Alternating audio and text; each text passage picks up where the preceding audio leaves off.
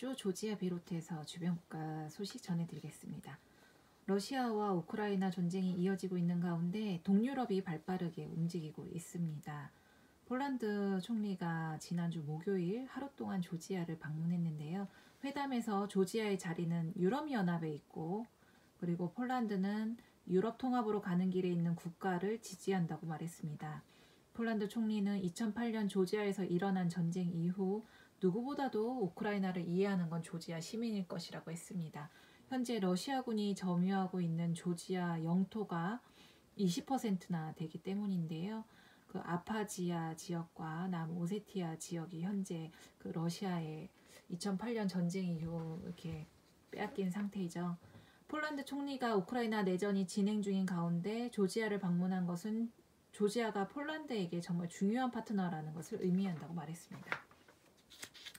폴란드뿐만 아니라 체코, 슬로베니아 총리 역시 우크라이나 수도를 어제 방문했습니다. 3개국 총리가 한꺼번에 우크라이나 수도에 모인 것인데요.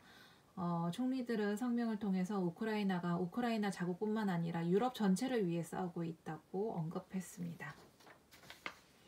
조지아와 체첸을 연결하는 도로 건설 이야기가 나오고 있습니다. 이건 도대체 또 무슨 신호일까요?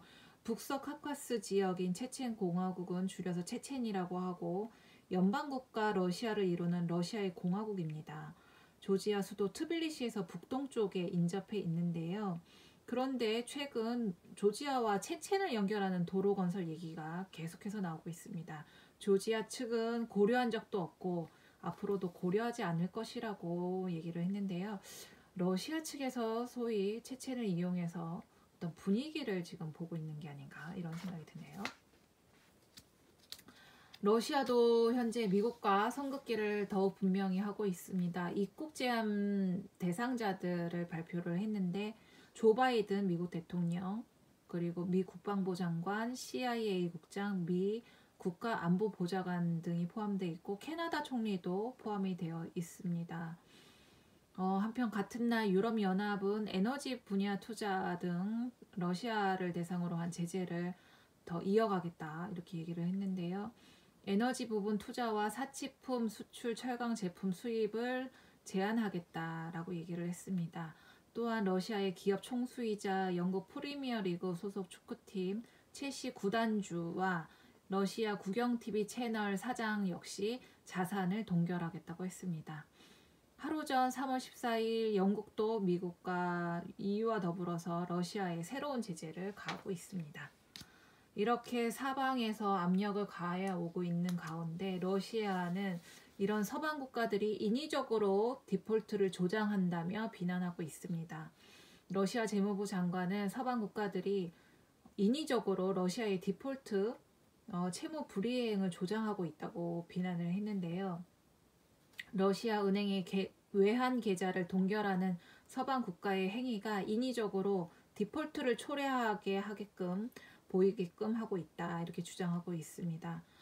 어, 러시아 재무부 장관은 러시아가 채무를 이행하지 못한다는 것은 사실도 아니고 어, 부채 상환에 필요한 자금도 보유하고 있다고 발언했습니다.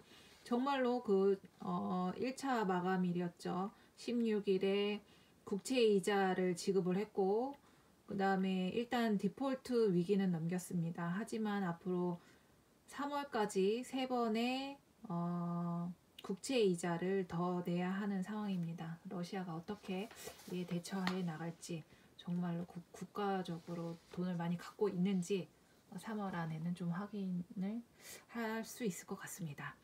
러시아 대통령이 그 이번 푸틴 대통령이 이번 전쟁을 통해서 사방에서 지금 압력을 가해오고 제재를 하고 있지만 러시아는 그럴수록 더욱 강력해지고 그 다음에 제재하는 데에는 부작용이 따를 것이라고 발언했습니다.